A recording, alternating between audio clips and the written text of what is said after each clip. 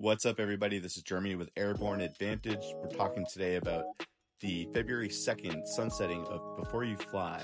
No longer an app that we can use, but when you click on it, it will take you to the FAA's website where you'll find, I believe now, up to 12 different vendors that can provide you with the Before You Fly services, along with uh, airspace clearances and NOTAMs. Clicking on this, of course, I went to the first one on the list, the Airspace link, which takes you to the AirHub portal. From here, you can create a mission, you can scout out what the NOTAMs are, you can check airspace status, you can also see what's going on with stadiums around you for any type of TFR that's there. Allow your notification here to give you your current location and start planning an operation. As you can tell, just uh, in downtown Syracuse, there's a ton of restrictions here.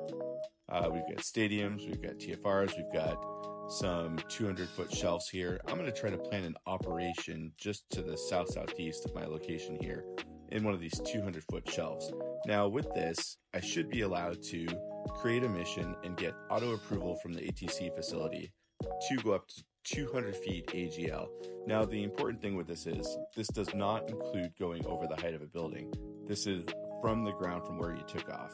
I'm going to take a peek at the NOTAMs. I see that there's the JMA uh, wireless dome up ahead within three miles. I'm going to go check their website. I'm going to make sure that there's no events happening right now because there is a TFR within an hour before and an hour after an event. Then you can not fly your drone. So creating this operation, I'm going to drop my pin here in the 200 foot shelf and I'm going to create a line, a box or a circle, something that goes outside of this uh, 200 foot part and also into the uncontrolled airspace to show you what that looks like. By clicking on plan operation, I can bring up a menu here. I can title the operation. Today I'm going to go with uh, demo just to show what it looks like. And I'm going to have commercial 107. My max altitude, obviously, because it's a 200 foot shelf, is going to be 200 feet. You can select rectangle, polygon, circle. I'm going to go with a rectangle here and I'm going to move that to my 200 foot shelf just inside here. So what this is going to do is create a area where I'm planning an operation and on the part that's controlled, I will go ahead and try to seek an auto approval to go up to 200 feet. And again, that's AGL and because this is controlled airspace, that does not cover going over any of the buildings. So here we are. I'm going to go with a LAANC notice. I'm going to say, okay, great. Save that. Oh, my mission is not complete yet because I need an automatic approval from air traffic control. I'll submit that and voila, it's done. Now it also gives me my stadium uh, airspace advisory and the portion that's in uncontrolled airspace as well.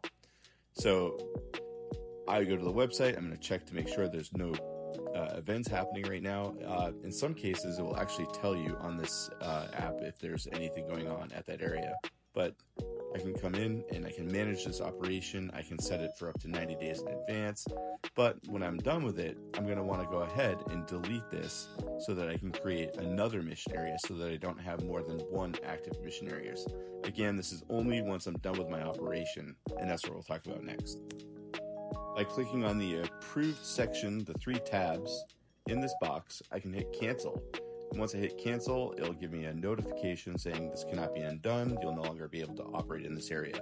Well, since I've completed my mission, I no longer want to operate in there. I'll go to proceed, and that cancels the portion inside the controlled airspace. Now, from this point, I can cancel the rest of the mission. Uh, that's fine. I don't technically know if it's required, but as a courtesy to other drone operators, I usually go ahead and cancel just to make sure that um, if anyone else is out there, they know that I'm done with my mission and that uh, they can have access to that area if need be.